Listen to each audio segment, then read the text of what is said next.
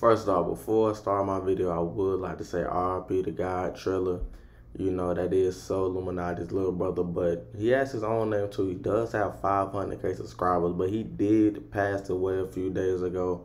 And I would like to send my condolences to his family and to everybody else who subscribed to him. I was a fan of him. I just had to say that before I started this video. RP to God Triller.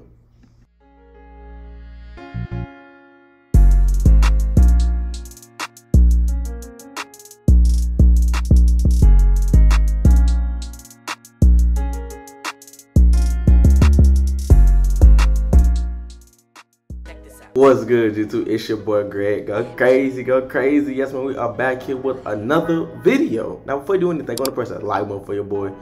Please press the subscribe button so we can hit 90. So we one sub, boy. If you've seen this video, press subscribe button if you are new to my channel. And turn on the post notification bell so you can be notified every time I post a new video. Now let's get right into it. Someone asked Mike Wang, will there still be numbered animation releases in NBA 2K23 like there has been in previous 2Ks or only signature releases?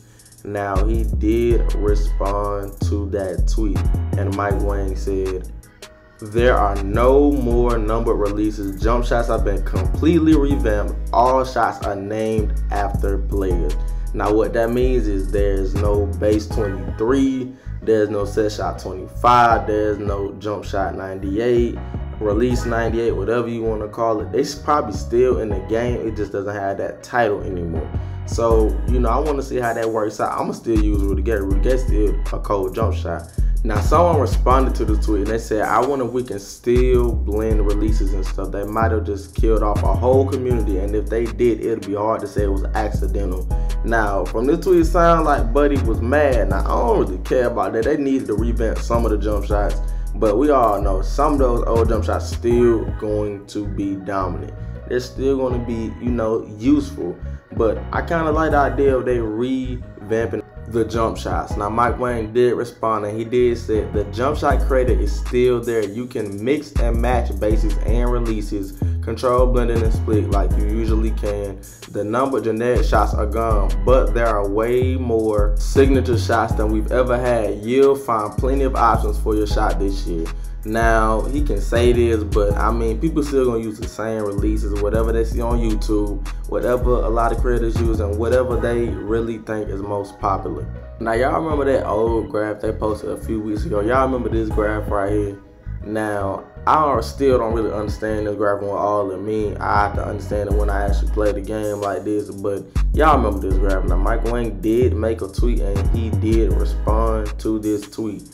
Now, for that graph, he did say that this is an outdated list. We want to show y'all that basically an idea of what to expect. Now, I still don't know what to expect. I don't really know about all that. Now, when the game come out in less than two weeks, which I can't wait, yes, we'll see what everything on that graph means. We'll finally get a better understanding of what that graph means. But until then, I don't really care about that list and all that. That was just some news he really put out there. I don't really care about all that anyway.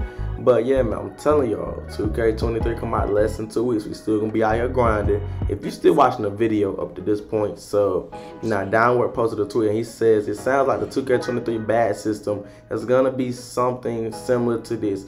Now that's what it's kind of looking like. I wouldn't be mad if it was something similar to this because it gives builds at least a little bit of diversity.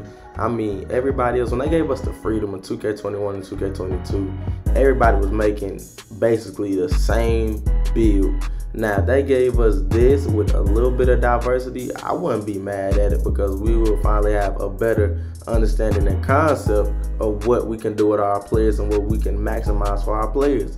Now, somebody asked Baloo, but does pump fake and take adrenaline boost the same way jumping for a block does? Now, you know in 2K21 and 2K20, you can just pump fake, pump fake, pump fake until they jump, and you can still get the same timing off with no stamina laws if you pump fake five, six, seven, eight, nine, ten different times. Now, he did say Pump faking doesn't use boost, but your shot ratings drop if you spam face. The more you spam, the larger the drops. Now, I'm glad he implemented this into the game so people can stop spamming pump fakes. But yeah, man, that's really it for the news, man. Don't forget to like, Comment, subscribe if you know I'm gonna keep y'all updated. When the part news comes out, it should come out Wednesday. So just be ready. But yeah, man, I'm out, man. Peace.